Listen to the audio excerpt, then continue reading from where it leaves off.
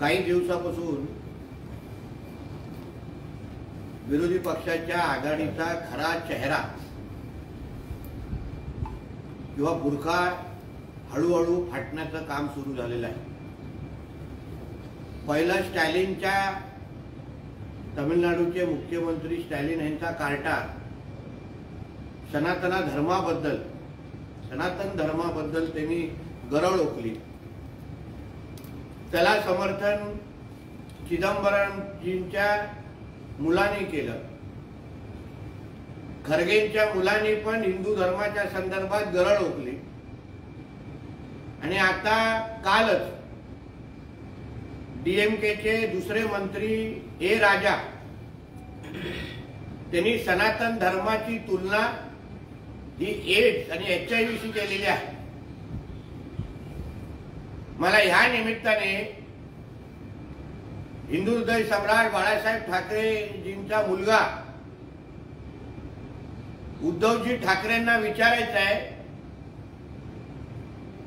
की सनातन धर्माच्या बद्दल हे जे होणारा जे आव्हान किंवा आक्रमण जे केलं जात आहे सनातन धर्माचा अपमान जो केला जातोय त्याचा आपल्याला मुख सहमती आहे का? नुसतं सामन्यामध्ये अग्रलेख लिहून तुमची भूमिका स्पष्ट होत नाहीये. तुम्ही जे खरगेजींचा जे काँग्रेसचे अध्यक्ष खरगे आहेत त्यांची जी काय हयात हॉटेलमध्ये धोती सांभाळत होता त्यांच्या मुलांनी जे हिंदू धर्माच्या विरुद्ध दिलंय बोललाय त्याचं तुम्हाला समर्थन आहे का? तुमचं समर्थन आहे का? मग सनातन धर्म अगर एड्सची तुलना होत असेल तर मग मातोश्रीमध्ये एड्स आणि एच आय व्ही पसरल्या असं आम्ही म्हणायचं का? कारण का सनातन धर्माचा सर्वात जास्त आणि सर्वात मोठं समर्थन? हे त्याच मातोश्रीवर वर्षा वर्ष वर्षानुवर्ष होत आहे. मग ह्याबद्दल उद्धवजी ठाकरेंनी भूमिका स्पष्ट केलीच पाहिजे.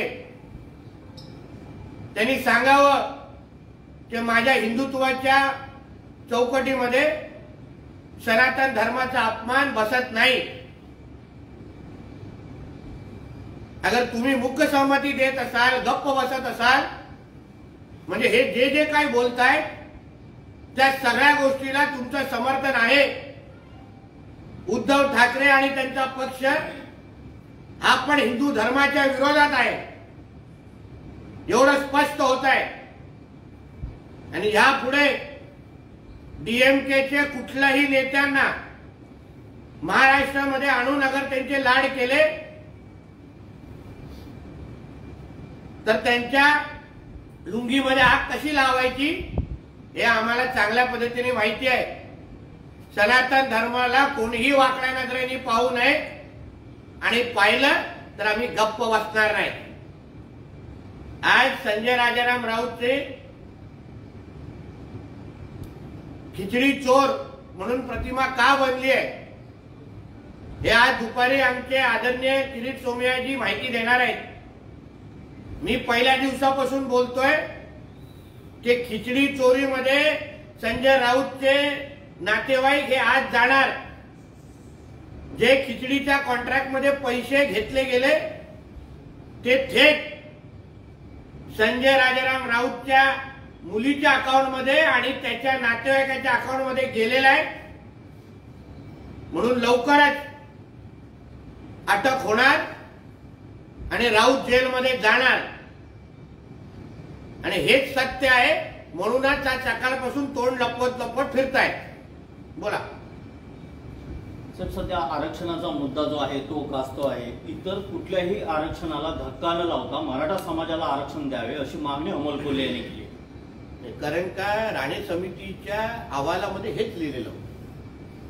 घटनेच्या प्रमाणे घटनेमध्ये तशी तुर- तरतूद आहे डॉक्टर बाबासाहेब आंबेडकरांनी दिलेल्या संविधानामध्ये तशी तरतूद आहे की अन्य कोणाच्याही आरक्षणाला हात न लावता मराठा समाजाला मराठा समाजामध्ये जो मागासलेपणा आहे मागासलेला आहे तो रिपोर्टमध्ये राणे समितीने पण सिद्ध करून दाखवलेला नंतर गायकवाड समितीने पण सिद्ध केलेला आणि त्याच आधारे आमच्या देवेंद्र फडणवीस साहेबांच्या सरकारने मराठ्यांना आरक्षण कोणाच्याही हात- आरक्षणा हात न लावता देऊन दाखवलेलं.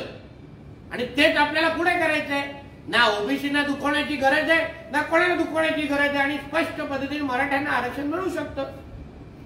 देवेंद्र फडणवीस पक्षाच्या बैठकीत व्यस्त आहे तर उद्धव ठाकरे दुष्काळ पाणीवर. भाजप चोवीस तास निवडणुकींच्या विचारात आम्ही मात्र शेतकऱ्यांच्या बांधावर असते अशी टीका अंबादास दानवे यांनी केली मग कोरोना काळामध्ये जेव्हा स्वतःची जीवाची पर्वा न करता आमचे फडणवीस साहेब पूर्ण महाराष्ट्रामध्ये भिंगरी गावून फिरत होते जेव्हा तुमचा घर कोंबडा मुख्यमंत्री तेव्हाचा आणि तुझा पक्षप्रमुख घरी बसून काय गोट्या खेळत होता. आणि आज सत्तेमध्ये असताना शेतकऱ्यांसाठी काय करायचं नाही तेव्हा बांध्यावर जाऊन आम्ही पंचवीस हजार देणार तीस हजार देणार अशी खोटी आश्वासने द्यायची आणि आता नुसतं फोटो सेशन करण्यासाठी जात आहेत तिथे. मग सत्तेमध्ये असताना काय उद्धव ठाकरेजींनी दिवे लावले हे पण सांगावं ना अंबादास दानवेनी. म्हणून उगाच देवेंद्र फडणवीसजींना आणि भारतीय जनता पक्षावर टीका करण्यापेक्षा तुझ्या नेत्यांनी मुख्यमंत्री असताना शेतकऱ्यांसाठी काय केलं हे पहिलं महाराष्ट्राला सांगा. साहेब आरक्षणाचा मुद्दा चर्चेत आहे जसं मगाशी म्हटलं त्याप्रमाणे. आज सकाळी विखे पाटील यांच्यावर धनगर समाजाच्या आरक्षणाचा मुद्दा पुन्हा एकदा चर्चेला आलाय आणि त्यांनी भंडारा उधळलाय विखे पाटलांवर आरक्षणासाठी. जसं मराठा समाजाला आरक्षणाची मागणी आहे तशी धनगर समाजाची पण आहे. आणि धनगर समाजाला काय न्याय द्यायचा आहे हे आमचं सरकार चांगल्या पद्धतीने आम्हाला माहिती आहे. म्हणून विखे पाटील साहेब असो आमचे देवेंद्रजी असो आमचे अजितदादा असो आणि श्री फडणवीस आणि आमचे शिंदे साहेब असो धनगर समाजाचा जो अधिकार आहे तो आमची महायुतीचं सरकार मिळवून देणारच. म्हणून ह्याची चिंता आमच्या विरोधकांनी करू नये.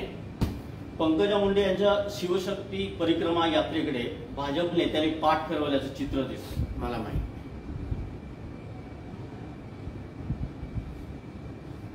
दक्षिण क्षेत्र में कुछ नेताओं द्वारा कड़ी टिप्पणी की जा रही है सनातन धर्म पर। क्या कहेंगे आप?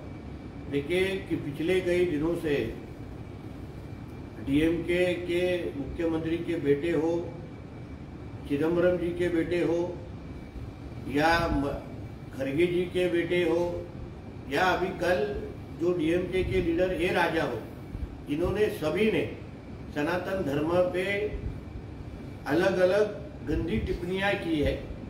कल तो ये राजा ने सनातन धर्म की तुलना एचआईवी से कर रही है, की है।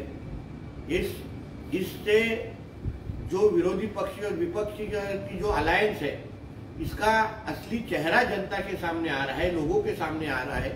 कर अगर ये सत्ता ये अगर गवर्नमेंट में आएँगे तो राहुल जी की मोहब्बत की दुकान में सनातन धर्म की कोई भी जगह नहीं ऐसी स्पष्ट भूमिका उनके सारे अलायंस पार्टनर लेते हुए हमको दिखे हैं। उसके साथ ही जो खुद को हिंदुत्व के पुजारी बोलते हैं, हिंदुत्व के लीडर बोलते हैं, वो उद्धव जी ठाकरे ने अभी तक एक भी शब्द डीएमके या सनातन धर्म के खिलाफ बोलने वाले किसी भी लोगों के बारे में कुछ भी बोला नहीं है। तो मैं मांग करता हूँ, अगर सच्ची हमारा उद्धव जी ठाकरे अगर हिंदुत्व के लीडर है, बाला साहब ठाकरे जी के बेटे है तो उन्होंने सनातन धर्म के बारे में जो कुछ आक्रमण हो रहा है, उसके खिलाफ अपनी भूमिका स्पष्ट करनी चाहिए। वो जिस तरीके से चुप बैठे हैं, इसका यही अर्थ होता है कि इस सभी चीज़ को उनका समर्थन है।